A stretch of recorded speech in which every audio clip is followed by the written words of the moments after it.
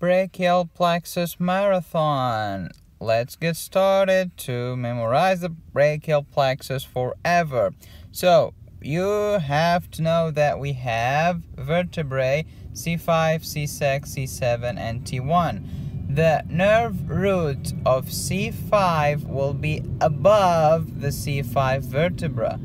Okay, what about C6? Nerve is about is above C6 vertebra. What about C7? Above C7 vertebra. What about C8? Above T1. Why?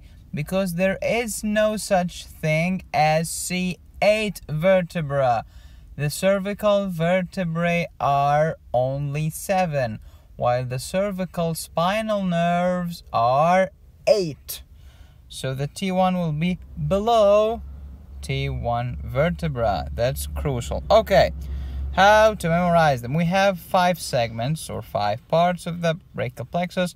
Roots, then after roots we have trunks, divisions, cords, branches. Just remember a tree. Start with the root, ends with branches. So tree, then after the roots, there are trunks after that divisions maybe and like cords we can call them cords. Okay so let's start. Let's start with what? We will have draw something like this okay and something like this okay mirror image. Okay so two roots of each. Then a single trunk and the, the straight line should remain like this okay?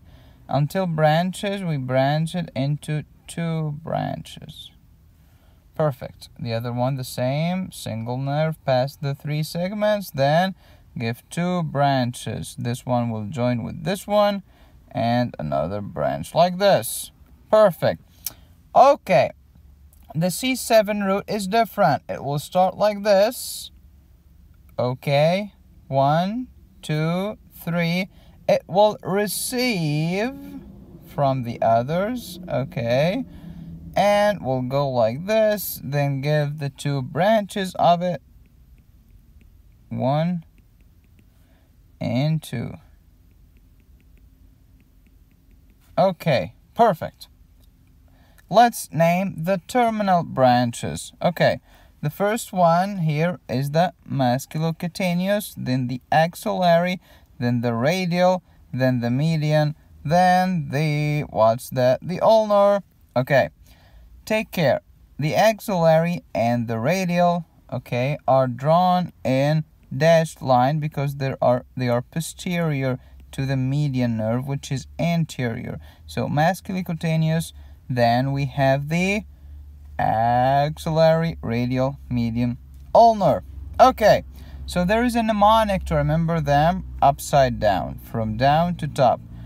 Upper extremity muscles really are maintained, maintained by innervation from the brachial plexus. Upper extremity muscles really are maintained. Okay, let's name these roots. Okay, nothing. C5 root, C6 root, C7 root, C8 root, T1 root. What about the trunks? Superior, middle, and inferior. Superior, middle, and inferior. Okay.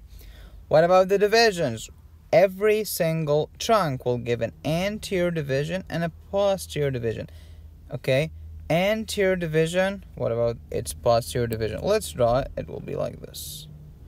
Okay, then here, anterior division and posterior division. The three posterior divisions will join to form one cord. We call this cord the posterior co cord, and that's why there is a dashed line because it is posterior. That makes sense. Okay, then the one above here we'll call the lateral, and here we'll call the medial because we are getting closer to the first rib like here. This is the first rib, so this is like medial, and this is kind of lateral. Okay, that's perfect. So, how to memorize everything you need to know about the brachial plexus. Okay, it's easy. It's 5 times 5. Okay, how come? We have 5 segments or 5 parts. Roots, trunks, divisions, cords, branches. Just remember the tree. In every single part, there are 5 things you need to know. Okay, let's start with roots. What are the 5 things you need to know? You need to know that it's they are C5, C6, C7, C8, T1. Those are the five things you need to know. What about the trunks? You need to know that this is the superior trunk, this is the middle trunk, and this is the inferior trunk.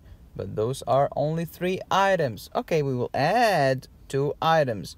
Okay, this superior trunk will give two branches. Okay, one of them is called supra, which means above, and one of them is called sub, which means below. So one above and one below. What's the supra? It's called the suprascapular nerve. And what's the sub? It's the nerve to subclavius. Okay. Cool. Then, what about the five things we need to know about the divisions? Okay. This is an exception. You need to know six things. What are they? Each one of the trunks will give an anterior and a posterior what? Division. The posterior divisions will join together to form the posterior cord. Okay? Then those divisions go the anterior with this anterior form the lateral only this anterior form the medial cords respectively okay those are six things. What about the five things we need to know about the cords? Okay, first, you have to know the lateral cord, posterior cord, and medial cord. Okay, but those are three items, so let's add two. Okay, here we have lateral pectoral nerve, and here we have medial pectoral nerves. Okay, there are other small branches coming from here and from here which are beyond the scope of this video. Okay, what about the five branches? We already know them. The musculocutaneous, the axillary, the radial, the median, the ulnar. What's the mnemonic? Upper extremity muscles really are maintained by this amazing brachial plexus. Okay, this video is meant to be viewed more than once in order to master the brachial plexus.